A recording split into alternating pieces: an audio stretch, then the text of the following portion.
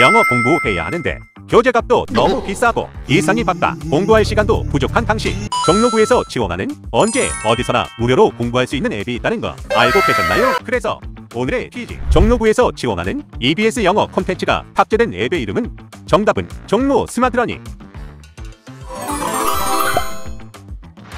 종로 스마트러닝 앱은 종로구가 한국교육방송공사와 손잡고 관내 초중고 학생과 구민의 영어 능력 향상 및 평등한 영어 교육 기회를 제공하기 위해 2023년 2월부터 12월까지 무료로 앱을 통해 영어 교육을 지원하고 있습니다. 종로 스마트러닝은 자기주도 학습이 가능한 대결학습 서비스를 제공하고 학생들을 위한 자가 평가가 가능한 수능 실전 모의고사 제공과 각종 EBS 컨텐츠를 제공합니다.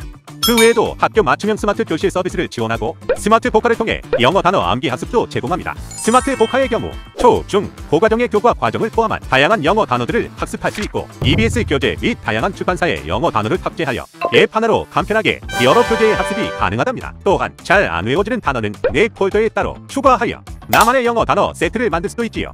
이렇게 유용한 기능이 가득한데 아직도 다운 안 받고 있었다고? 얼른 받으시오 냉큼 받으시오. 우리 같이 종로 스마트러닝으로 영어 공부 한번 쉽게 해보자고